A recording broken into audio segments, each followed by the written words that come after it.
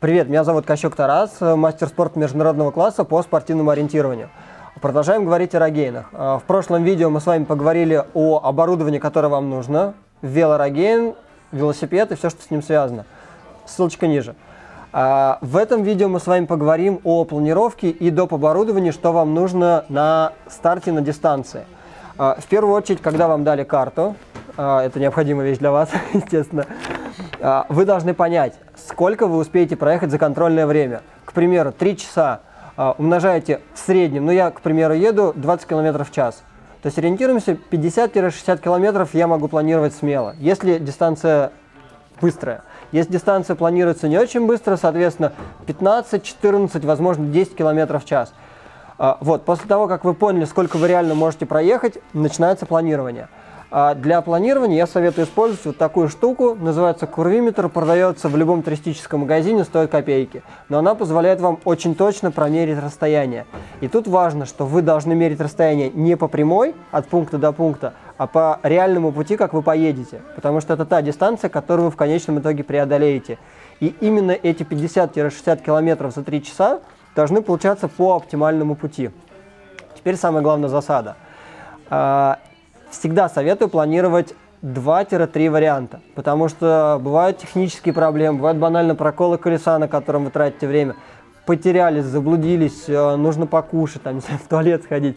Вот, э, поэтому спланировали вариант А, самый длинный, к примеру, и потом думаете, как вы будете где срезать, в случае, если вы не успеваете.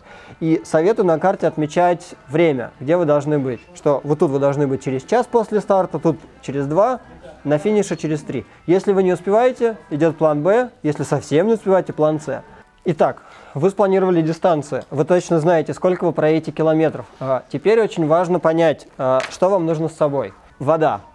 Кто-то использует изотоники, кто-то использует всякие энергетические напитки, кто-то пьет просто воду. Попробуйте на тренировках, что подходит именно вам, и используйте то, к чему вы привыкли. Не экспериментируйте на соревнованиях. Для экспериментов есть тренировки. Воду считаем, ну, грубо, литр на полтора часа, плюс-минус. Если жарко, чуть больше. Если холодно, можно чуть меньше. К примеру, я за 8-часовой рогейн выпиваю примерно 3-4 литра воды, не больше. Вода это обязательно. А, по еде вы сами поймите, что вы хотите кушать. Шоколадки, энергетические батончики, а, не знаю, там, мюсли, все что угодно. То есть, э, опять же, пробуйте на тренировках, берите это с собой на старт, э, опять же, на тренировках посчитайте, сколько вам нужно еды. Допустим, одна шоколадка в час, в принципе, достаточно. С опытом вы поймете, что вам нужно еще. А, из э, полезного, поскольку велосипед штука техническая, она ломается. Редко, но ломается. Большие ключи с собой таскать смысла нету. Оставляем их дома. Для того, чтобы обслужить велосипед, весь, реально, вам достаточно всего лишь вот такого мультитула.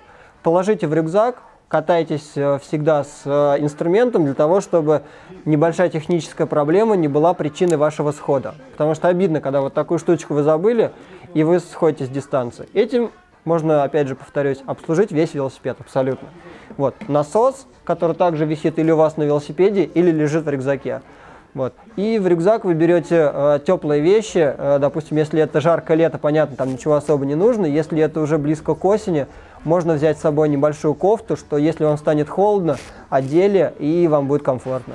Спасибо, что посмотрели это видео. Приходите на Рогейн, соревнуйтесь, побеждайте, будьте лучшими.